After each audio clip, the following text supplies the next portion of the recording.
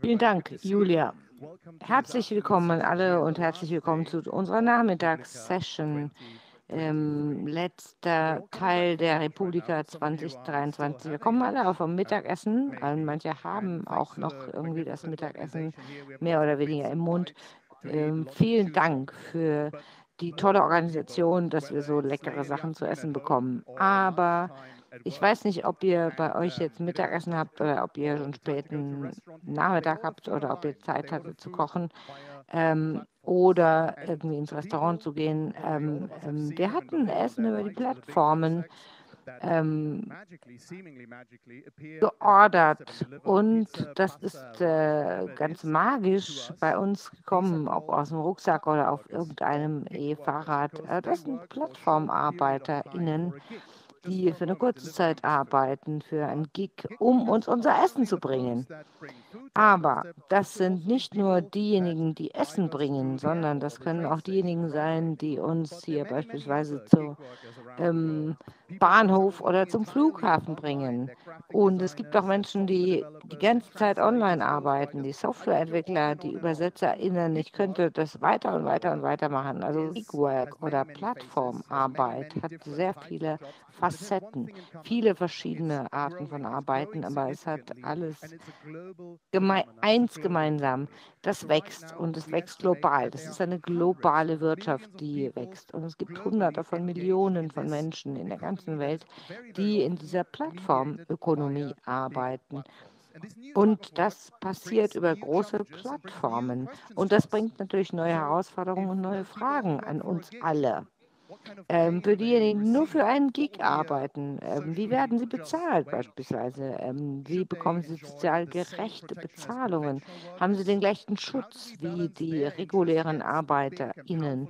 Und wie können wir das abwägen gegen ähm, die ähm, Interessen von großen Plattformunternehmen? Die im Big Silicon Valley arbeiten. Das sind alles ähm, wirkliche Fragen und das ist mir, mir eine Ehre und ein Privileg, hier euch durch diese Session zu führen mit ExpertInnen, die von sehr weit gekommen sind, um uns durch diese wichtigen Fragen zu bringen. Diese neue Art der Arbeit in der Gig Economy. Und das ist natürlich ein globales Phänomen. Es gibt Menschen aus der ganzen Welt, die daran beteiligt sind.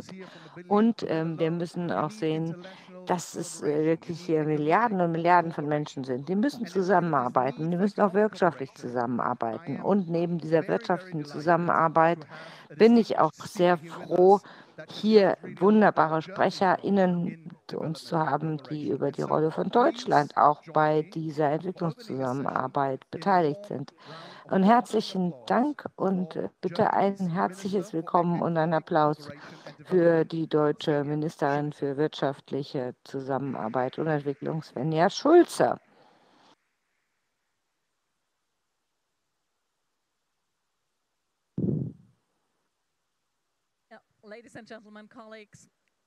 Ja, liebe KollegInnen,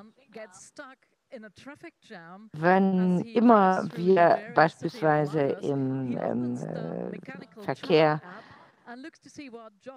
hängen bleiben, in Lagos beispielsweise, dann sehen wir, welche Gigs hier uns ermöglicht werden. Das sind auch Autos beispielsweise, die um uns herum sind. Und ihr könnt euch vielleicht vorstellen, wie das aussieht. Ähm, alle haben hier jetzt Kopfhörer auf und ähm, haben auch Videos beispielsweise. Und ähm, es gibt Jobs, die ähm, wenigen, die 10 Cent pro Stunde bekommen oder 2,50 Euro. Das ist schon viel mehr, als sie bekommen. Aber sie werden nicht die Cash bezahlt, sondern sie werden durch Amazon Giftcards bezahlt.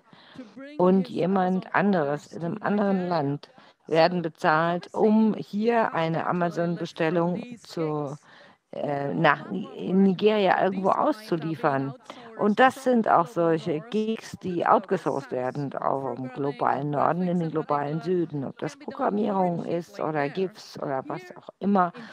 Da wird die Arbeit schlechter bezahlt. Hier in Deutschland haben sich viele daran gewöhnt, dass sie ihr Essen nach Hause bekommen, beispielsweise, oder dass sie über Uber irgendjemand bekommen, der kommt und was repariert zu Hause und das sind nur ein paar Klicks und das passiert sehr billig. Und das ist diese Gig-Economy, die in allen Sektoren passiert. Das ist gut für die Plattformen, aber es ist schlecht für die ArbeitnehmerInnen, weil sie haben keine Verträge, sie werden sehr schlecht bezahlt und sie werden auch nur ab und zu bezahlt. Sie haben keinen Gesundheitsschutz beispielsweise, keine anderen Versicherungen. Wenn sie krank sind, wenn sie nicht arbeiten können, dann werden sie schlicht und ergreifend nicht bezahlt. Dann haben sie auch keine Gewerkschaften, die für sie einstehen. Sie haben diese Click-Hire-and-Fire-Kultur beispielsweise. Das gehört zum Big Labor des digitalen Zeitalters. Und das ist äh, nicht weniger als einfach eine Ausbeutung von ArbeitnehmerInnen. Das heißt, es hat hier auch eine dunkle Seite. Aber ich wollte hier jetzt nicht alles schlecht reden, sondern ich möchte über Lösungen sprechen.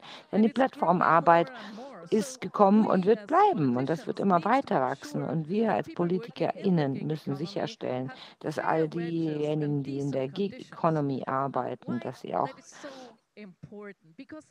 gerecht bezahlt werden und gut geschützt werden. Denn Plattformarbeit ist die Arbeit der Zukunft. Ich habe jetzt die Gefahren erwähnt, aber Plattformarbeit ähm, offert auch viel, ermöglicht uns auch viele Möglichkeiten. Digitale Arbeit beispielsweise kann flexibel passieren, zu flexiblen Zeiten. Das kann man herumarbeiten um die Zeit, die man für die Familie braucht. Und es hat auch beispielsweise für Frauen ein großes Potenzial, denn sie sind hauptsächlich immer noch ähm, verantwortlich dafür, für das Zuhause und für die Kinder zu sorgen. Und dann ist es natürlich für sie noch schwieriger, in den traditionellen Arbeitsmarkt einzutreten. Und da geht es auch um ähm, Möglichkeiten, dass ähm, es attraktiv ist für Menschen aus dem globalen Süden, dass sie ohne ohne gewisse Vorbildungen in den Arbeitsmarkt eintreten können.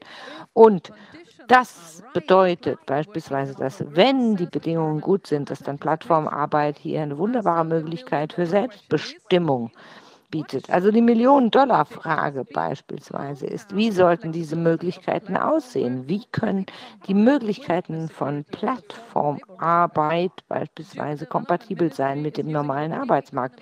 Das deutsche Entwicklungsministerium nutzt die Gig-Wirtschaft äh, um diese Arbeiten voranzutreiben und auch hier die Arbeitsbedingungen weiter voranzutreiben bei der digitalen Arbeitswelt und der Arbeitsumgebung. Es gibt auch das Fair Work Projekt. Fair Work schaut sich schaut die wichtigsten Plattformen an und sehen, wie hier die Konditionen aussehen, die Bezahlungen, die Vertretungen beispielsweise aussehen. Wie sieht etwas aus? Fair Work beispielsweise ähm, lädt alle ein, in dieser Plattform in konstruktiven Dialog zu treten und um die Konditionen zu verbessern für ArbeitnehmerInnen und auch langfristig zu verbessern. Und das scheint zu arbeiten. Mehr als 200 Plattformen wurden jetzt beispielsweise bewertet und mehr als 140 Verbesserungen wurden da vorgenommen. Ungefähr 9 Millionen Menschen haben daraus Nutzen gezogen. Nur ein paar Beispiele. Ähm, Beispielsweise ein Online-Supermarkt beispielsweise zahlt jetzt äh, mehr als das äh, Mindestgehalt oder zahlt den Unterschied, wenn sie das nicht haben. Oder POD in, in Südafrika beispielsweise hat gesagt, dass sie allen Arbeitnehmerinnen nicht nur das Mindestgehalt zahlen würden, sondern das, was sie brauchen zum Überleben. In Kenia und Indien beispielsweise, Big Economy, jetzt auch Workshops für Gewerkschaften organisiert damit sie eine bessere Anwaltschaft machen können für diejenigen und wie die Algorithmen sich auszahlen können auf das Gehalt. Aber Entwicklungspolitik geht für mich nicht nur darum, um zu reagieren und um Feuer zu löschen. Es geht darum, präventiv tätig zu werden und um das System insgesamt zu verändern, weil man sich auf das große Bild konzentrieren muss und strukturelle Veränderungen vornehmen muss. Und digitale Technologien spielen dabei eine wichtige Rolle, um vor allem auch nachhaltige Entwicklung voranzutreiben. Und das kann nur passieren, wenn wir den richtigen politischen Rahmen haben. Und deswegen ist es auch wichtig, dass wir hier die deutsche Politik und ein Ministerium eingebunden haben. Die Strategien werden die Werte und die Prinzipien festlegen, minder Zusammenarbeit mit unseren digitalen Politiken. Und das erste Mal wird die deutsche Bundesregierung auch selbstbestimmen zu den Zielen der digitalen Entwicklungspolitik. Das wird uns Klarheit geben über das, was wir angeben können und was wir vorgeben können und wie hier mehr Klarheit geschaffen werden, werden kann, was Souveränität angeht und digitale Gesetzgebungen. Ich meine, die europäische Gesetzgebung hat natürlich einen starken Wettbewerb beispielsweise. Wer ist da dagegen? Das sind die marktzentrierten Unternehmen auf der anderen Seite und dann die staatszentrierten ähm, Staaten wie China beispielsweise, die Überwachungsstaaten. China beispielsweise nutzt die Technologien sehr stark dazu, um politische Interessen umzusetzen. Und wenn man hier chinesische Infrastruktur nutzt, dann äh, öffnet man Tür für chinesische Interessen. Und das geht gegen digitale Souveränität. Und dann gibt es auch viele Länder, die sagen, wir nehmen alles, was es da gibt. Denn ähm, da gibt es überhaupt keine Beschränkungen. Im Gegenteil, viele Prokuristen im globalen Süden denken, dass die strikten Regeln in Europa ein Hindernis darstellen für Menschenrechte und Due Diligence und Lieferketten beispielsweise. Wenn man beispielsweise all diesen Vorgaben gerecht werden muss, dann kann das beispielsweise auch ähm, ein ein Hindernis sein. Und ähm, wir haben eine Alternative, die ähm, wettbewerbsfähig sein kann und die mehr auf die Rechte der Individuen scheint. Also was machen wir im deutschen Entwicklungsministerium? Was bieten wir unseren PartnerInnen? Wir möchten mehr demokratische Digitalisierung haben und die offen ist und trotzdem reguliert. Und das ist eine Alternative zu all dem, was China und die USA anbieten. Und damit stehen wir auch für Werte ein, die konstant ähm, wie, so wie Freiheit ähm, und Selbstbestimmung unter Beschuss stehen. Und da kämpfen wir gegen Souveränität, unsere eigene digitale Infrastruktur und auch ähm, werthaltige Ressourcen im digitalen Zeitalter. Was sind unsere eigenen Daten beispielsweise? Und wie können wir diesen Daten am besten nutzen? Und wir stehen ein für den globalen Süden und ähm, den Wettbewerb zwischen verschiedenen Systemen, beispielsweise auch grenzübergreifend gesehen. Wir müssen gemeinsam zusammenarbeiten, weil wir jetzt ein, alle im gleichen Boot sitzen ob wir in Kairo oder Nairobi oder Kiew sitzen. Denn die Unternehmen und Regierungen stehen alle vor den gleichen Herausforderungen wie Berlin, Brüssel oder Washington. Das heißt, wir sprechen über Open Internet oder Smart Solutions beispielsweise für Lösungen. Wir brauchen einen wirklich angeregten Dialog. Und zweitens, wenn es um digitale Transformation geht, da können wir sehr viel voneinander lernen. Ähm, beispielsweise gibt es digitale ähm, Websites, die äh, in Kenia beispielsweise schon länger existiert haben als in, in Deutschland. Und da haben beispielsweise auch die Gesundheitsministerien sich beispielsweise in Deutschland und Europa hier sich die Köpfe gerieben und in Kenia gab es da schon ein tolles System, was ähm, und ich bin mit äh, DJ Zepp und mit New Networks zusammengetreten, um wirklich sicherzustellen, dass PartnerInnen voneinander lernen können und auch etwas voneinander lernen können, was nachhaltige Entwicklung angeht. Denn digital und global ist etwas, das ähm, für alle von uns gilt. Digital und digitale Lösungen brauchen wir auf der ganzen Welt und die müssen beschleunigt werden durch die Netzwerke und mit den Netzwerken, in denen wir arbeiten. Das haben wir gesehen in Tansania, in Peru und in Ghana, wo auch immer. Wir haben da digitale Zentren in 35 Ländern weltweit aufgestellt. Wir haben digitale ähm, Lerntours mit Dingi und so weiter aufgestellt und wir können auch äh, viele Ratschläge geben, auch für UnternehmerInnen, wenn sie sich an öffentlichen Unternehmen beteiligen möchten und wenn sie ihre eigenen Netzwerke aufstellen möchten, untereinander. Gleichzeitig sorgt dieses Netzwerk dafür, dass die Stimmen aus dem globalen Süden gehört werden, auch in der öffentlichen De Debatte in Deutschland und in internationalen Foren. Und auch da geht es darum, gemeinsam voneinander zu lernen und gemeinsam voranzugehen in die Zukunft.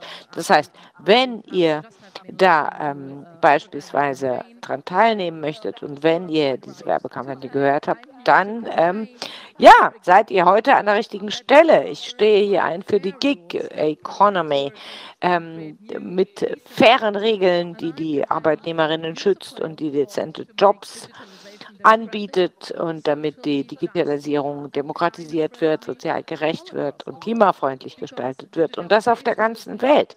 Denn Digitalisierung ist nicht ein Ziel in sich, sondern mit dem richtigen Rahmen ist das der Schlüssel zu einer gerechteren Welt. Vielen Dank.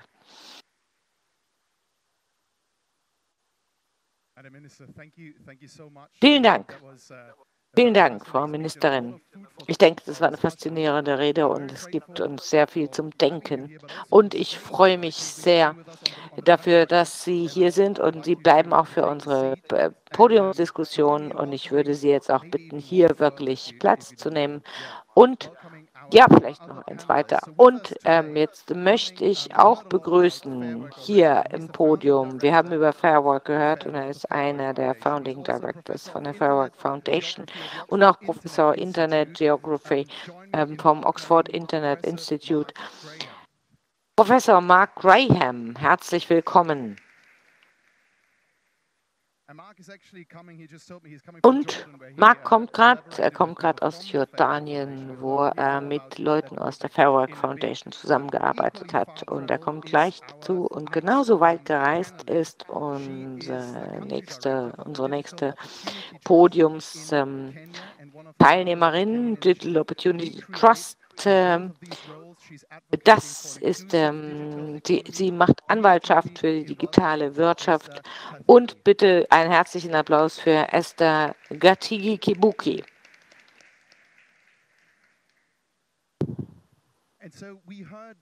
Und wir haben schon gehört, dass die digitale Wirtschaft, äh, dass die Plattformarbeit oder die Plattformwirtschaft hier eine globale Wirtschaft ist. Und wie gesagt, es gibt Millionen oder hunderte Millionen von Menschen, die in diesem Wirtschaftssektor arbeiten. Wir können natürlich nicht alle auf die Bühne holen, aber dank der Arbeit von Menschen im Hintergrund und ihrer Vorbereitung haben wir ein paar Stimmen, die wir jetzt hier hören können aus der ganzen Welt. Und wir möchten sie jetzt live hier hören.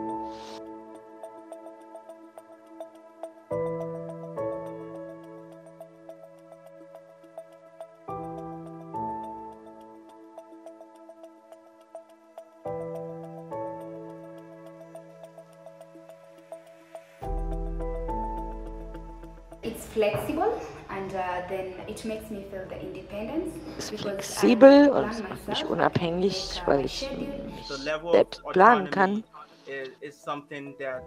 Das ist eine Wirtschaft, die ich nicht haben könnte oder eine Arbeit, die ich nicht haben könnte in traditionellen Unternehmen. Es gibt keine festgelegte Struktur. Es gibt äh, kein HR beispielsweise. Es gibt keine Finanzsicherheit, keine Stabilität.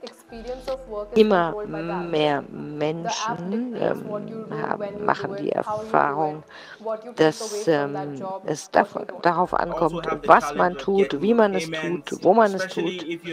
Und wenn ähm, auf den Gig Economies arbeitet und auch bei, als Freiberufler dort arbeitet, dass man von Provisionen lebt. Da muss man auch ähm, für bestimmte Aktivitäten eintreten und man muss schauen, was es an, was an Vorteilen gibt. Also wir sind immer mehr digital und ähm, es gibt auch soziale Faktoren, die da eine wichtige Rolle spielen und auch emotionale. Das ist ein kritisches äh, Ökosystem. Und ähm, wir müssen auch sehen, wie wir faire Gehälter bekommen, damit die Menschen auch hier richtige äh, Zeitfenster bekommen und Bezahlung bekommen.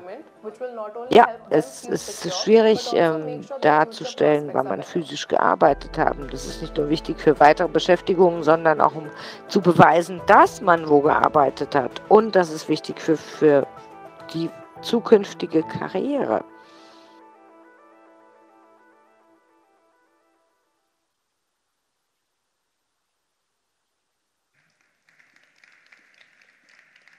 Das waren Videoeinspielungen. Okay, das waren nur ein paar Snapshots von Eindrücken von ArbeitnehmerInnen aus der ganzen Welt, die sich in Plattformarbeit äh, betätigen. Aber wir haben natürlich hier auch im Podium beispielsweise ExpertInnen für diejenigen, die in den letzten Jahren oder Jahrzehnten mit Gigwork und Gig Economy gearbeitet haben. Was ist die Motivation für die Gig Economy? Möchten Sie mehr Flexibilität? Sind Sie unzufrieden mit konventionellen Arbeitsmodellen? Hallo nochmal herzlich willkommen an alle zusammen. Also vielleicht ein bisschen Hintergrund in Hintergrundinformation. Digital ähm, Opportunity Trust arbeitet mit jungen Frauen und möchte mehr Frauen hier ähm, auch die technischen äh, Möglichkeiten bieten, äh, damit sie in der digitalen Wirtschaft überleben können. Und dann haben wir das Digital Transportation Center, wir haben auch die GIZ beispielsweise, die Frauen hilft, die in der Gig Economy arbeiten. Und eins, eine der Sachen, die wir herausgefunden haben, ist, dass wir einen Übergang brauchen in die Gig Economy. Und dazu brauchen wir mehr Flexibilität. Wir kennen alle sehr viele Frauen und ähm, wir haben, sie müssen natürlich Kinder bekommen, sie müssen hier beispielsweise nach dem Haushalt schauen und dann ist es sehr schwierig, auch dem Beruf nachzukommen. Also die Gig Economy ähm, gibt ihnen die große Chance, die Arbeitszeiten zu kontrollieren, um auch zu entscheiden, mit wem sie arbeiten möchten. Man kann den Arbeitnehmer an sich selbst aussuchen und dann beispielsweise sagen, welche Arbeit man tun möchte. Das war einer der haupttreibenden Faktoren. Und wegen Covid-19 haben wir auch sehr viele Menschen gesehen, die in die Gig-Ökonomie abgedriftet sind. Und da gab äh, es beispielsweise die falsche Meinung, dass das keine formelle Arbeit ist, dass man das einfach nur so am Wochenende machen kann. Aber während der Pandemie haben die Leute langsam aber sicher gesehen, dass Gig ähm, Economy auch eine akzeptable Form der Arbeit ist, dass man auf einer Plattform arbeiten kann, dass man auch einen Job oder verschiedene Jobs dort durchführen kann, um sich einen, den Lebensunterhalt zu verdienen. Das ist hier Flexibilität und Convenience und auch die Möglichkeit, die Arbeitszeiten zu kontrollieren, weil sie auch noch andere Verantwortungen haben. Wir haben über, über Frauen gesprochen und wir kommen gleich nochmal auf die Rolle von Frauen zu sprechen in der Gig Economy. Das heißt hier äh, Möglichkeiten, Flexibilität. Das hört sich alles sehr fair und toll an. Aber wir sind natürlich auch, und wie wir gehört haben und auch aus der Forschung gehört haben, es ist nicht immer alles optimal. Es gibt manchmal Schritte zurück, es gibt auch negative Auswirkungen. Chairman. Und ich denke, Mark, hier ähm, einer der negativen Punkte der Gig Economy. Das ist äh, einer der Gründe dafür, dass ihr diese Fair Work Initiative überhaupt gestartet habt. Was waren die negativen Erfahrungen und die Rückschläge, die ihr gemacht habt mit der Gig Economy? Erstmal herzlich willkommen und vielen Dank, dass ich hier sein kann. Ich denke, Ministerin Schulze hat das ähm, schon sehr schön gesagt, wie die Chancen und Möglichkeiten und auch Risiken der Gig Economy aussehen. Ich denke, diese Plattform Plattformökonomie wird nicht wieder weggehen. Wir werden nicht mehr zurückgehen in eine Welt ohne Plattform. Und ähm, es ist das nicht, dass Plattformen per se schlecht oder gut sind, sondern ähm, viele Risiken ähm, werden nicht richtig behandelt, äh, wie beispielsweise Diskriminierung oder schlechte Arbeitsmöglichkeiten ähm, vor Ort. Darüber könnte ich stundenlang sprechen, beispielsweise. Ich werde es nicht tun, versprochen. Aber was versuchen wir im Fair Work Projekt? Wir versuchen einige dieser Risiken anzugehen. Und Überall auf der Welt sehen wir jetzt, dass ähm, die ähm, Gesetzgebung noch nicht ausreichend ist, um PlattformarbeiterInnen zu schützen vor diesen ganzen Risiken. Das heißt, wir brauchen hier auch eine gute Repräsentierung. Wir brauchen hier mehr und stärkere Gewerkschaften. Da fehlt es immer noch an ähm, Widerstand und an der Mitspracherecht von Mitarbeiterinnen für gerechte Arbeiten und Arbeitsstandards beispielsweise und Mindeststandards bei der Arbeit. Und wir versuchen deshalb die Unternehmen davon zu überzeugen, das umzusetzen. Und wir machen das in 38 Ländern. 25 davon sind niedrigst- oder Niedriglohnländer. Und dank ähm, ähm, der Ministerien und ähm, der Unterstützung äh, der Ministerien haben wir da jetzt auch Fortschritte gemacht. Das heißt, wir versuchen diese Prinzipien von fairer Arbeit weiter voranzubringen, bringen, auch in der ILO beispielsweise. Wir haben ArbeitnehmerInnen, wir haben Industrien, wir haben Sektoren, wir haben Ministerien und ähm, auch Regierungen, die daran teilnehmen. Und wir versuchen hier beispielsweise sie zu vergleichen und mit den mehr als 5000 MitarbeiterInnen, die wir mittlerweile haben, ähm, dann versuchen wir sie zu vergleichen und dann gehen wir zu Unternehmen und wir sagen ihnen, okay, wir werden das jetzt noch nicht veröffentlichen. Ihr habt jetzt noch die Möglichkeit, euer Rating zu verbessern. Wir werden euer Rating nicht ähm, ähm, leaken, aber wir werden das auf den Tisch legen, ähm, wie beispielsweise im Vergleich zwischen verschiedenen Fußballspielern. Und keiner möchte natürlich ganz am Schluss der Rangfolge stehen. Alle möchten etwas dazu beitun. Und wir sagen, okay, was sagen wir euch? Äh, es geht hier nicht um die Punktzahlen. Natürlich wollt ihr alle eine gute Punktzahl, aber wir möchten euch zeigen, was es bedeutet, Best Practices in der ganzen Welt zu verteilen. Und es geht hier nicht um Utopia und es geht nicht um Science-Fiction-Jobs beispielsweise, sondern wir möchten euch Beispiele geben von dem, was hier wirklich passiert und wie sind die Standards von dezenten Arbeitsbedingungen, die funktionieren können. Und Dutzende von Plattformen stehen für Millionen von ArbeitnehmerInnen. Die können Veränderungen beispielsweise bewirken, wie Mindeststandards wie Versicherungsschutz beispielsweise, wie Antidiskriminierungsrichtlinien. Das alles ist wichtig. Oder beispielsweise auch die Anerkennung von Gewerkschaften. Beispielsweise all das wurde durch den Dialog mit diesen Unternehmen erreicht, indem wir dieses Rating aufgestellt haben. Also, ich denke, dieser Ansatz zeigt uns, dass es Unternehmen gibt, die sagen, dass das ist das Gig-Modell und wir können was nicht anderes anders machen, sondern wir können sagen, es gibt trotzdem eine Möglichkeit, auch etwas dezenter und besser zu machen in der Gig. Economy beispielsweise. Es gibt ähm, ähm, Möglichkeiten, wie Unternehmen wählen, wie sie mit wem arbeiten und wie sie die ArbeitnehmerInnen bezahlen. Es gibt Möglichkeiten für faire Entlohnung und faires Arbeiten und die möchten wir wirklich aufzeigen. Das ist wirklich sehr beeindruckend. Ihr habt gesagt, es gibt Millionen von ArbeitnehmerInnen und ähm, Dutzende von Plattformen und ihr habt wann begonnen? Äh, mehr als äh, vor vier Jahren. Und das haben wir in Südafrika begonnen und jetzt noch in mehr Ländern.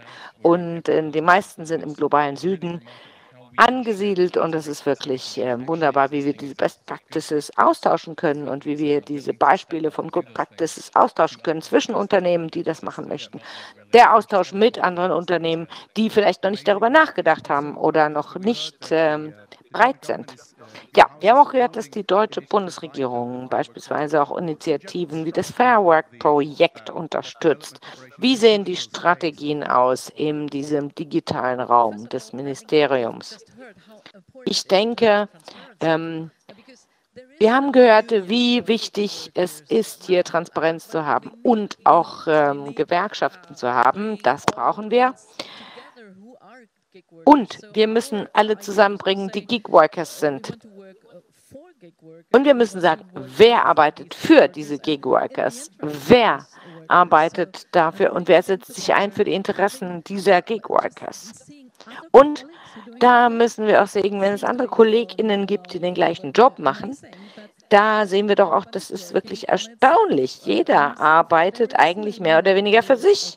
Es gibt kein bekanntes Netzwerk von Gig-Workers beispielsweise, weil jeder sagt, ja, ich möchte diesen Job machen, ich möchte hier den Job machen auf der Plattform oder der Plattform. Da gibt es keine echte Vernetzung. Und das ist auch Teil unserer Strategie, ähm, indem wir hier diese Geek Economy Initiative gestartet haben, um die MitarbeiterInnen zusammenzubringen, damit hier die Arbeitsbedingungen besser werden, wie es schon gesagt worden ist. Denn wir können nicht einfach sagen, das ist jetzt eine andere Welt und die Arbeitnehmerinnen müssen dafür einstehen, gerade stehen und bezahlen. Nein, es muss dann auch faire Konditionen geben und äh, Konditionen geben, auch für die Einstellung und wie äh, wir auch gesehen haben, und da gibt es auch bei Asta Marken Möglichkeiten dafür, wie das funktioniert. Ja, wir haben ja schon von all diesen verschiedenen Bottlenecks gehört und du hast ja zum Beispiel auch wirklich Spezifika genannt, aber ich kann mir auch vorstellen, dass man auf der Policenseite hier auch nochmal etwas ist. Deutschland ist natürlich ein ganz, ganz wirtschaftliches Land, ein Land mit viel Einfluss, mit vielen, vielen, vielen Menschen. Ist es wirklich auch machbar, dass ein Land, ein Land alles unterstützt? Oder braucht man dafür nicht einfach auch eine gemeinsame Aktion seitens der Richtlinien, einfach, dass verschiedene Länder zusammenarbeiten? Ja, also natürlich wissen alle, dass digitale Net Netzwerke und Plattformen wichtig sind. Natürlich gibt es hier keine nationalen Grenzen. Das heißt also, es ist nicht genug, einfach hier nur auf nationaler Ebene zu arbeiten, sondern wir müssen natürlich auch auf globaler Ebene arbeiten. Aber natürlich kann man auch sagen, dass die gleichen Plattformen manchmal hier auch verschiedene Voraussetzungen haben, und zwar in verschiedenen Ländern. Und das heißt natürlich auch, dass wir an etwas zusammenarbeiten müssen, um diese Themen anzugehen und um Schritte in die Zukunft zu machen. Und ich glaube, das ist genau das, was wir auch mit der Initiative machen möchten. Wir wissen natürlich, dass es hier verschiedene Organisationen gibt, Arbeitsrechtler und so weiter, die genau daran arbeiten. Sie möchten hier gute Arbeit leisten auf diesen Plattformen. Sie möchten mehr Transparenz, wie ich ja schon gesagt habe. Und ILO hat das zum Beispiel auch, und zwar auf der eigenen Konferenzplattform. Und das heißt natürlich, dass wir hier Schritte in die richtige Richtung gehen. Die internationale Organisation arbeitet genau daran und das zu unterstützen, das ist etwas, das wir tun können. Wir können das vorantreiben und zwar auf internationaler Ebene. Und das ist auch genau das, was wir gerade tun. Ja, wir haben ja gehört, dass Frauen hier natürlich auch eine ganz spezielle Rolle spielen. Und wir arbeiten hier natürlich auch mit Frauen in diesem digitalen Bereich. Aber vielleicht könntest du noch mal erklären, was die Herausforderungen sind. Die Herausforderungen, die auch genau Frauen haben. Wir wissen, dass es natürlich einen Unterschied gibt in der normalen Wirtschaft hinsichtlich der Bezahlung zwischen Männern und Frauen. Und natürlich ist es mir auch sehr schwierig, Betreuung zu finden für Kinder und so weiter. Gibt es hier große Herausforderungen für Frauen auch im digitalen Raum? Ja, definitiv. Nicht nur eine Herausforderung, sondern es gibt sehr viele Herausforderungen für Frauen, die auch in dieser Wirtschaft arbeiten. Und ich muss sagen, das fängt natürlich an mit einfach nur limitierten Zugang zu der Infrastruktur, die gebraucht wird. Das heißt also, die Situation in den Bereichen außerhalb ist sehr, sehr unterschiedlich zu den Innenstädten, Zugang zu Internet, die englische Sprache oder haben vielleicht auch einfach keine Kinderbetreuung. Und jemand, der vielleicht einfach außerhalb von Städten wohnt, hat da vielleicht einfach keinen Zugang. Das heißt also, sie müssten reisen, um überhaupt Internet zu haben. Internet ist vielleicht auch etwas teurer, es ist einfach vielleicht ein Luxusgut, nicht etwas, das sie regelmäßig benutzen können. Und ein weiterer Punkt ist natürlich auch, dass es sehr viel Wettbewerb gibt auf dem globalen Markt. Wir möchten also, dass Frauen auf diese Plattformen kommen und dann im Wettbewerb stehen mit jemandem, der vielleicht in Europa studiert hat. Und natürlich ist dann das Level der Sprache und der Kommunikation und des Verständnisses sehr, sehr unterschiedlich. Das heißt also, sie haben vielleicht die richtigen Fähigkeiten, aber sie können sich einfach nicht austauschen. KI ist ja schon Bias. Das heißt also, es gibt Plattformen mit diesen Biases. Das heißt also, es gibt genau diese Plattformen, wo es diese Probleme gibt. Die sind einfach quasi schon integriert in die Plattform.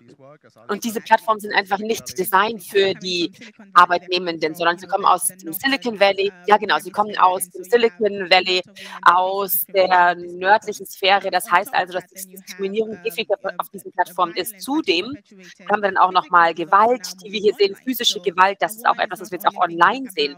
Also eine Frau denkt nicht nur darüber nach, ob sie in Sicherheit ist zu Hause, sondern auch online auf einer Plattform. Das heißt also, das ist nur ein Beispiel dafür. Es gibt eine junge Frau, die sich auf einer Online-Delivery-Plattform angemeldet hat und sie ist also ins Restaurant gegangen. Sie hat die Mahlzeit abgeholt, ist dann in diese Location gefahren, wo sie die Mahlzeit hinliefern sollte. Und der Kunde, der dann diese Mahlzeit bekommen sollte, hat dann einfach die Tür halb nackt geöffnet. Und hat gesagt, komm doch einfach rein. Also sie musste dann entscheiden, okay, gehe ich in dieses Haus und bekomme ich mein Geld oder riskiere mein Leben oder nicht. Und sie hat sich entschlossen, das ähm, Essen zurück ins Restaurant zu bringen. Und als sie zurück im Restaurant war und das Essen wieder abzugeben hat, der Kunde sich beschwert. Ich habe meine Mahlzeit nicht bekommen, sie war zu spät und sie musste für diese Mahlzeit bezahlen. Das heißt also, sie wird nicht nur nicht bezahlt für eine Lieferung, die sie eigentlich ja schon machen wollte, sondern sie musste auch noch dafür bezahlen, denn sie musste dann quasi für das Essen bezahlen. Ein weiteres Beispiel sind Frauen, die zum Beispiel auch auf Online-Taxi-Apps sind. Sie müssen also entscheiden, zu welchen Uhrzeiten sie arbeiten können. Ja, eine Frau kann also morgens aufstehen, sie muss dann natürlich die Mahlzeit für ihre Familie vorbereiten, sie muss dann die Kinder in die Schule bringen, muss dann auf der App sein und dann anfangen arbeiten. In 7 Uhr abends ist es dann in den afrikanischen Ländern meistens dunkel, ist also dunkel, dann muss sie sich entscheiden, okay, möchte ich weiter Kunden befördern? Es gibt Bereiche, wo ich vielleicht unsicher bin, wo ich vielleicht einfach nicht in Sicherheit bin. Es sind sehr viele verschiedene Herausforderungen, die Frauen hier haben und natürlich auch hinsichtlich dem, dass sie einfach sie ausgenutzt werden. Ein weiteres Beispiel ist zum Beispiel eine junge Frau, die an einem Programm teilgenommen hat. Sie ist eine Frau, die gearbeitet hat für einen ihrer Kunden und sie hatten eine mündliche Absprache getroffen. Haben also gesagt, okay, du kannst also zu mir kommen. Sie haben sich also auch auf einer Plattform kennengelernt, haben dann den Job begonnen und danach hat der Kunde dann gesagt, na ja, warum bist du auf dieser Plattform? Und haben dann gesagt, okay, 30 Prozent von dem, ähm, was du hier haben möchtest, äh, kannst du von mir bekommen. Warum arbeitest du nicht exklusiv für mich? Ich habe also dann mit diesem Kunden gearbeitet, war dann bei dem Programm und hat dann festgestellt, naja, ich habe also keinen Vertrag mit dieser Person. Das sind einige Sachen, an denen wir arbeiten mit Frauen zusammen. Wir möchten ihnen einfach das Wissen an die Hand geben, das sie brauchen. Die müssen verstehen, was ihre Rechte sind, was sie brauchen, um sich selbst zu schützen, um sicherzustellen, dass sie auch gestützt sind vor die Interaktionen, die möglicherweise passieren können. Und viele Plattformen müssen das einfach verstehen. Einige dieser Nuancen und Herausforderungen, die Frauen täglich sehen, müssen hier einfach transparenter werden. Und zum Beispiel das Beispiel von dem Restaurant, das ich gesagt habe, wenn sie wieder auf die Plattform geht, dann sagt die Plattform, naja, ein Kunde hat sich beschwert über eine Lieferung. Das heißt also, es wird hier wirklich, ja, angekreidet, muss man sagen. Das sind Sachen, die wir noch herausfinden müssen, wie wir das machen. Viel wird hier noch ans Tageslicht bekommen, während wir hier weiter auf dieser Plattform aktiv sind. Es gibt also viel Arbeit, die noch geleistet werden muss von den Plattformen und natürlich mit Unterstützung der Regierung, sodass wir weiterhin Frauen unterstützen können, sodass wir auch wirklich die Stimme für Frauen sein können. Wir sind Aktivisten. Ich bin heute hier, um für die Frauen zu sprechen und wir müssen hier einfach mehr leisten. Viele Plattformen werden einfach nicht im Verständnis, was wirklich passiert, entwickeln. Ja, vielen, vielen Dank für die Stimme. Ich glaube, zusätzlich zu dem, dass sie einfach angreifbar sind, natürlich haben sie auch einfach in der normalen Wirtschaft schon Probleme. Leider gibt es viele dieser Aspekte auch online und das kann vielleicht sogar nochmal etwas herausgekristallisiert werden. Und ich muss sagen, wir haben hier natürlich auch einige Themen aufgegriffen, die wir schon mal besprochen haben. Also ein Bericht über diese Frauen. Ja, nein, nein, der Bericht, den gibt es noch nicht, aber der kommt bald. Nein, kein Problem. Also der wird bald auf unserer Website sein, in ein paar Wochen. Und das wird ein Bericht sein, der genau über die Geschlechterverteilung spricht und natürlich auch, wie Frauen in dieser Big Economy aufgehoben sind, was sie tun können und so weiter. Ich möchte jetzt hier leider nicht den ganzen Bericht zusammenfassen, dafür haben wir nicht genug Zeit, aber ich möchte es kurz ansprechen. Also jeder Einzelne, der das mitgemacht hat und jedes einzelne Beispiel, das wir heute gehört haben, hat ja gezeigt, wie die Situation aussieht. Ich glaube, eine der Schlüsseldinge, auf die wir achten müssen, ist das, was wir sehen, ist, dass natürlich Plattformen, alle verschiedenen Plattformen sehr, sehr oft einfach nicht auf die Unterschiede der Arbeitnehmenden eingehen. Das ist quasi immer eine Lösung, die für alle bereitgestellt wird. Naja, was hat das für einen Einfluss auf Frauen? Frauen haben hier natürlich ein geringeres Einkommen, sie haben ein größeres Risiko zu tragen und sehr, sehr oft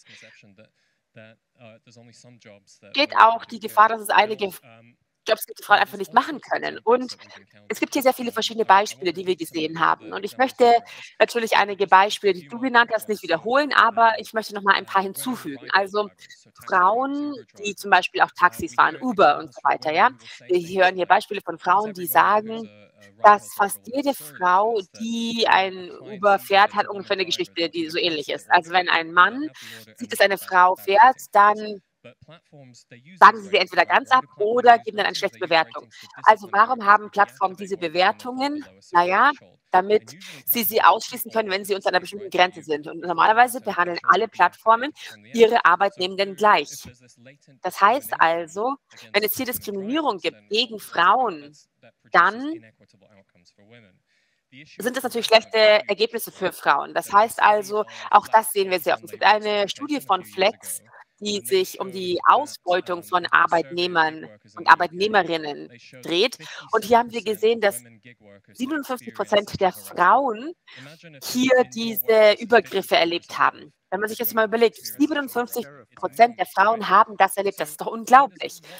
Und Deswegen sollte man sich überlegen, wenn Frauen diese Dinge dann öffentlich machen, dann antworten diese Plattformen entweder gar nicht oder nur sehr, sehr langsam. Natürlich gibt es auch immer diese Haltung, der Kunde ist König.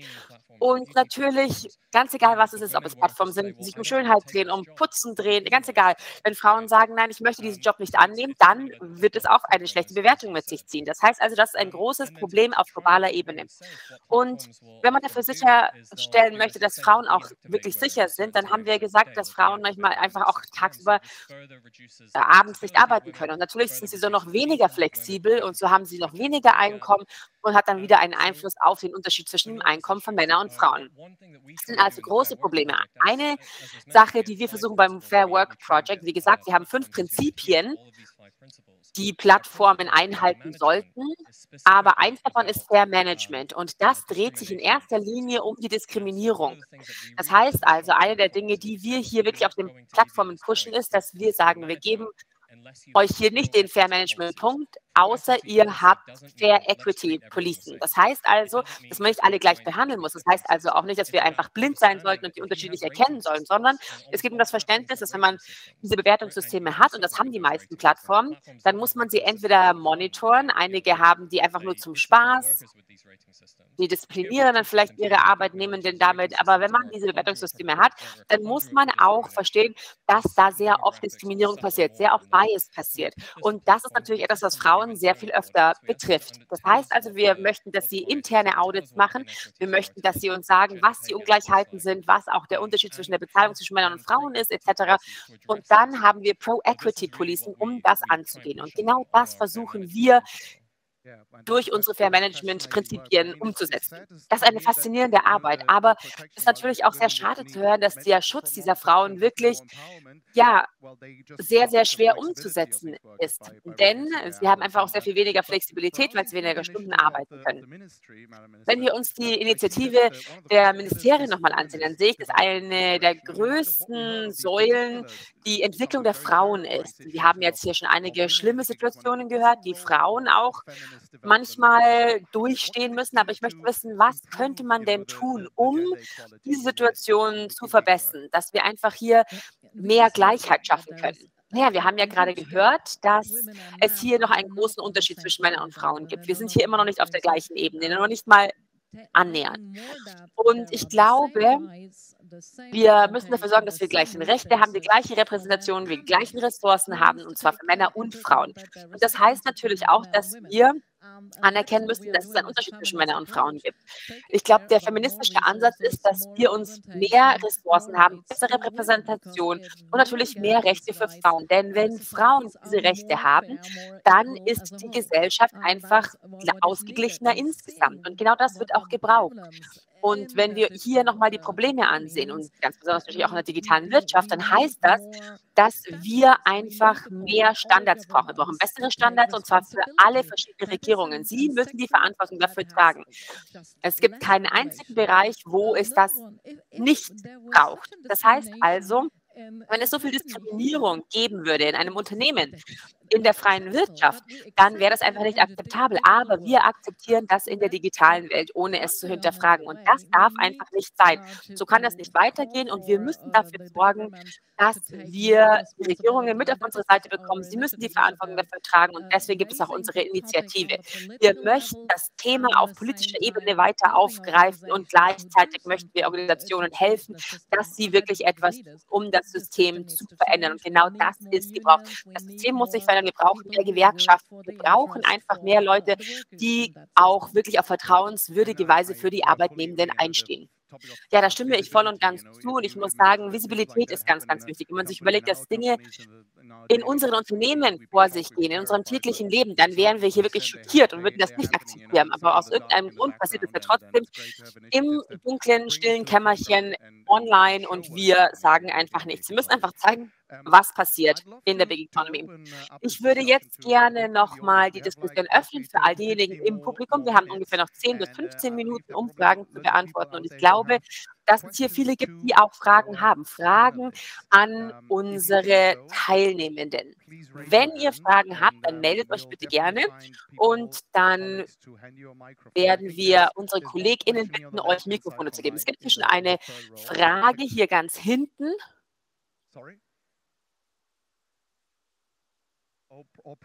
Leider können wir die Frage nicht hören.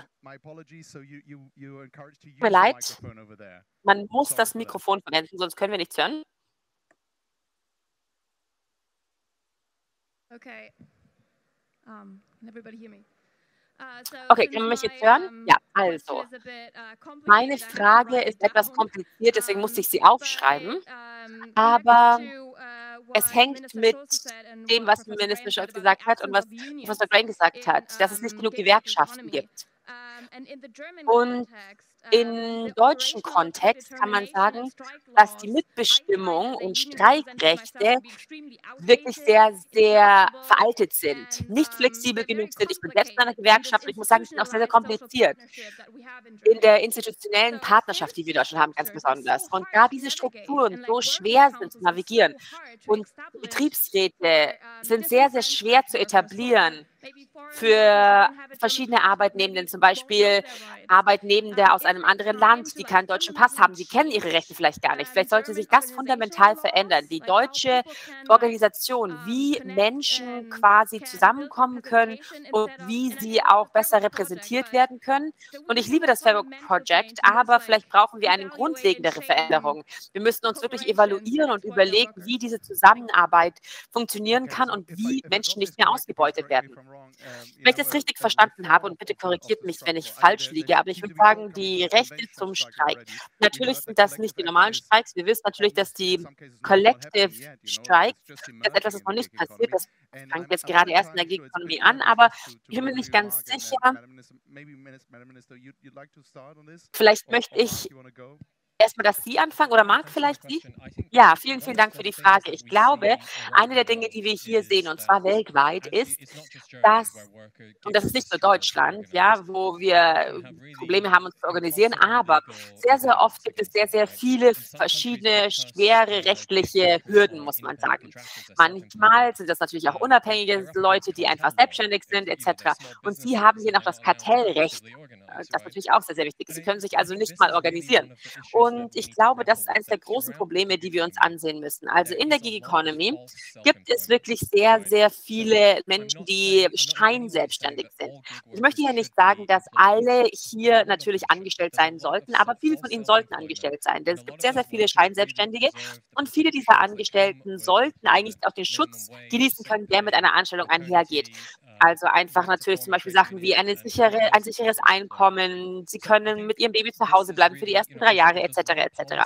Also wenn es eine Police gibt, die wir wirklich pushen müssen, und zwar weltweit, ist es, dass wir sicherstellen, dass all diese Scheinselbstständigen einfach nicht mehr scheinselbstständig sind. Denn wir brauchen einfach Arbeitnehmende, die die gleichen Rechte haben. Und diese Rechte bekommt man, wenn man angestellt ist. Ja, da stimme ich voll und ganz zu. Denn es gibt hier internationale Unternehmen, deswegen brauchen wir auch internationale Standards. Wir müssen dieses Thema auch weiter angehen in Deutschland. Hier gibt es immer noch viel Arbeit für uns um diese Sektoren auch zu regulieren, sodass alle die gleichen Rechte haben, auch natürlich außerhalb von der nicht digitalen Welt. Diese Arbeit muss reguliert werden, sie wird gebraucht und es gibt hier Standards in Deutschland, natürlich auch in Europa, aber wir brauchen internationale Standards dafür. Denn auch im globalen Süden brauchen wir das und im Norden. Wir arbeiten natürlich und das hat einen Einfluss auf die Arbeitnehmenden im globalen Süden. Das heißt also, wir brauchen einen Standard auf der ganzen Welt. Das ist wirklich gebraucht. Und ja, ich weiß natürlich, dass das nicht etwas ist, das wir jetzt so einfach machen können in vier, fünf Wochen, aber wenn wir nicht anfangen, wenn wir nicht die Gespräche anstupsen, dann wird sich auch nichts verändern. Und das möchten wir mit der Initiative machen. Und das machen wir mit all diesen Beispielen hier. Wir versuchen herauszufinden, was gebraucht wird und was auch heute schon möglich ist und wie ein internationales System aufgestellt sein könnte. Ja, vielen Dank. Ja, vielleicht kann ich ja kurz was hinzufügen. Also, ich glaube, eine der Dinge, die wirklich am interessantesten sind, die Features, die wir hier auch wirklich online im Gigwork sehen, im Remote-Plattform, da sehen wir, dass die größte Nachfrage nur von wenigen Ländern auf der ganzen Welt kommt. Europäischen Ländern, Kanada, Amerika, Australien und Japan. Die Arbeit findet aber weltweit statt. Und ich glaube, dass diese Länder, die hier wirklich eine große Nachfrage haben, die möchten dann dafür sorgen, dass diese Standards auch wirklich umgesetzt werden in der ganzen Wertschöpfungskette. Ich glaube, deswegen können wir Inspiration bekommen von zum Beispiel Deutschland, wo Unternehmen tatsächlich jetzt Menschenrechte implementieren müssen. Es gibt hier Minimumstandards nicht nur für ihre eigenen Arbeitnehmer, sondern in allen Unternehmen in ihrem Produktionsnetzwerk. Und ich könnte mir etwas Ähnliches vorstellen für die Online-Arbeit. Es gibt keinen Grund, warum etwas, das in Deutschland, im Vereinigten Königreich oder in Kanada anders laufen sollte als jemand, der in Kenia arbeitet oder in Indien arbeitet. Ja, jetzt gerade können sie das noch machen, aber ich glaube, das ist einfach nicht richtig. Ich glaube, wir könnten das einfach besser umsetzen, weil es gibt die Nachfrage. Das stimmt absolut. Das deutsche Gesetz zur Lieferkette zeigt wirklich, dass wenn man wirklich mit einem Land anfängt, wie zum Beispiel Deutschland, dann haben wir jetzt auch schon auf europäischer Ebene Gespräche und das schon seit eineinhalb Jahren. Und ich glaube, es könnte bald ein europäisches Gesetz werden für diese Lieferketten. Und ich glaube, das zeigt wirklich, dass man einfach einen Anfang machen muss. Das ist der richtige Weg. So bekommt man Lösungen und nicht nur Gespräche darüber. Ja, es ist wirklich schön zu sehen, dass es hier neue Initiativen gibt, die es jetzt schon hier auf der Bühne gibt. Und ich glaube, wir haben ja wirklich die richtige Wahl getroffen. Aber ich glaube, auch du möchtest noch was sagen, oder? Ja, ich wollte nur hinzufügen, dass eine der Dinge, die wir hier natürlich auch sehen, ist, dass natürlich es sehr, sehr viele kraftvolle Gemeinschaften gibt. Deswegen gibt es viele Selbstständige, die einfach keine Gewerkschaft gründen können. Sie können auch kein Teil dieses Schutzes sein, aber sie müssen ihre Rechte trotzdem verstehen. Sie müssen verstehen, was sie nicht bekommen, dass andere schon bekommen. Und so schaffen sie es dann einfach auch, die Gemeinschaften besser zu unterstützen, die sich jetzt gerade bilden. Denn so hat man eine Stimme, eine Stimme auch dieser Arbeitnehmenden. Und ich glaube, das sind auch sehr, sehr viele Frauen und auch junge Männer, die in diesen Communities sind. Und so hat man auch die Möglichkeit, wirklich einen Punkt zu erreichen, wo man sagen kann, okay, wir sind keine Gewerkschaft, wir sind eine Gemeinschaft von 20.000 Plattformarbeitenden und hier sind unsere Herausforderungen und das möchten wir haben. Und so haben wir einfach eine stärkere Stimme, die uns selbst repräsentieren kann. Ja, ich glaube, dass all diese Aktionen, hier gibt es wirklich ein gemeinsames Thema und das ist Transparenz. All das muss passieren und so braucht man einfach Transparenz, dass man zeigen kann, was die Arbeitskonditionen sind. Was sollten Freelancer bekommen oder sollten sie wirklich angestellt sein? Und wie könnte das aussehen? Und ich glaube, das ist wirklich ein gemeinsames Thema, das wir in all diesen Initiativen sehen. Und ich frage mich, ob es hier noch weitere Fragen gibt. Wir haben noch Zeit für eine weitere Frage. Ah, ich sehe hier eine weitere Frage. Ich glaube, es wäre sehr, sehr klug, das Mikrofon zu benutzen, besonders da hinten. Oder oh, es gibt noch zwei weitere Fragen, wie ich sehe. Hello. Oh, hey. Um, yeah, I'm Victor Lange. I'm involved with Bits and Bäume right now. Mein Name ist Victor Lange. Und wir haben ja gerade gehört, dass es sehr schwer ist, eine Gewerkschaft beizutreten oder eine zu gründen. Es gibt hier ähm, verschiedene Hürden etc. Und ich finde das Projekt wirklich sehr, sehr gut. Und ich habe mir überlegt, ob man das nicht noch einen Schritt weiter treiben könnte, sodass Menschen sich organisieren und zwar hinsichtlich ihrer Regime, um wirklich diese Standards auch umsetzen zu können. Denn ich sehe hier Demokratien, die zurückgehen auf globaler Ebene. Und dagegen müssen wir proaktiv angehen. Diese Vision könnte man vielleicht teilen. Und daran könnte man auch weiter arbeiten. Ja, vielen, vielen Dank, Victor. Es gab noch eine weitere Frage. Vielleicht könnten wir die erst aufnehmen und dann antworten wir, beantworten wir beide Fragen gemeinsam. Ja, vielen Dank.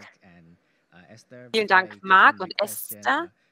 Meine Frage ist, ich arbeite für den Center for Society. Marc weiß, dass wir eine Foundation sind. Wir haben auch einen Bericht veröffentlicht.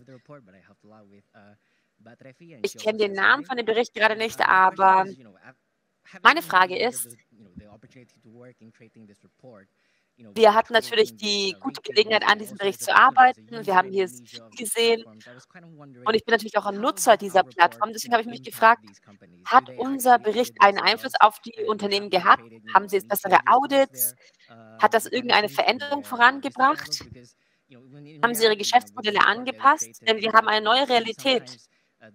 Und ich hoffe, dass wir mehr Visibilität geschaffen haben mit diesem Bericht. Es gibt hier verschiedene Probleme, die wir auch sehen. Zum Beispiel in Indonesien gibt es weniger Bezahlung für die Arbeitenden, aber dafür ist es für die Kunden teurer geworden. Ich frage mich einfach nur, ob das einen Unterschied gemacht hat. Das sind also Fragen, die sehr, sehr gut sind. Also wie können wir Veränderungen vorantreiben? Und Marc, vielleicht können wir mit der ersten Frage anfangen. Was für einen Einfluss hat, hat dieser Bericht? Also, hallo erstmal. Vielen Dank für die harte Arbeit an diesem Bericht. Ich glaube, das ist eine sehr, sehr gute Frage. Und eine der Dinge, die wir hier gesehen haben, ist, vielleicht habe ich das nicht richtig beschrieben, aber eine der Dinge, die wir in diesem Projekt machen, ist, wir sehen uns nicht nur Unternehmen an und bewerten sie in jedem Land, sondern jedes Jahr. Das heißt also, wir schauen sie jedes Jahr erneut an in verschiedenen Ländern. Und was wir gesehen haben, ist, wenn wir das das erste Jahr machen, dann gibt es Unternehmen, die vielleicht nicht wissen, wer wir sind. Wir sind einfach nicht eingebettet in die lokalen Informationsökosysteme und sie wissen vielleicht noch nicht, wie viel Druck wir auf sie ausüben können. Das heißt also, im ersten Jahr gibt es wirklich noch nicht so viel Einfluss in jedem Land. Aber was wir hier zeitlich sehen, ist, dass in Indien zum Beispiel, da haben wir jetzt den fünften Bericht, in Südafrika haben wir auch schon den fünften. Und in Ländern, wo wir arbeiten, und zwar Jahr für Jahr, dann fangen all die Plattformen an, mit uns zu arbeiten. Denn natürlich haben sie Angst, dass ihr Ruf einfach ruiniert wird oder zumindest beeinflusst wird. Ihre Wettbewerber führen dann Änderungen durch, also möchten sie das selbst auch machen. Und ich glaube, du hast am ersten Bericht von Indonesien gearbeitet und ich glaube, das ist jetzt der Punkt, wo wir in die nächste Phase gehen. Wir sind jetzt schon weiter vorangeschritten in Indonesien und ich glaube, du hast absolut recht. In einigen Aspekten werden hier die Rechte der Arbeitnehmenden hier wirklich etwas ja, geschwächt, aber dennoch ist das Teil unseres Berichts und sie möchten mit uns zusammenarbeiten und wir haben hier auch ein großes Unternehmen, Glovo, die haben jetzt hier nochmal eine Vereinbarung mit uns unterschrieben, wo sie gesagt haben, okay, ich glaube, sie arbeiten mit 24 Ländern zusammen, denn sie wissen, dass sie hier einfach einen Schritt vorangehen möchten und sie ja, haben das mit uns gemacht. Und ich möchte jetzt noch nicht viel mehr sagen, denn wir haben es noch nicht unterzeichnet, aber sie sind sehr interessiert daran, mit uns zu arbeiten, in Dialog zu treten. Und vielleicht kann ich auch noch den anderen Punkt ansprechen. Ich glaube, was ich hier wichtig finde, ist, eine Sache, auf die wir uns fokussieren sollten, ist, wenn wir uns die Geschichte der Arbeitsmärkte ansehen und wie wir zum Beispiel auch Sachen gewonnen haben, dann, dann, ging es immer darum, dass wir zusammengearbeitet haben. Und das brauchen wir. Niemand wird aufstehen im Namen der Arbeitnehmenden und all die Arbeit für sie übernehmen. Wir müssen hier einfach zusammenhalten. Wir müssen Gewerkschaften gründen. Und ich glaube, das ist das, was wir in der Gig Economy auch brauchen. Wir müssen einfach sehen, dass diese Regulierungen manchmal auch dafür sorgen, dass Arbeiter einfach diese Kraft nicht zusammenbringen können. Aber ich glaube, Repräsentation ist sehr, sehr wichtig, denn man kann keine faire Arbeit haben, ohne dass sich Arbeitnehmende organisieren können. Ja, ich möchte hier auch nochmal highlighten. Zusammenarbeiten ist sehr, sehr wichtig.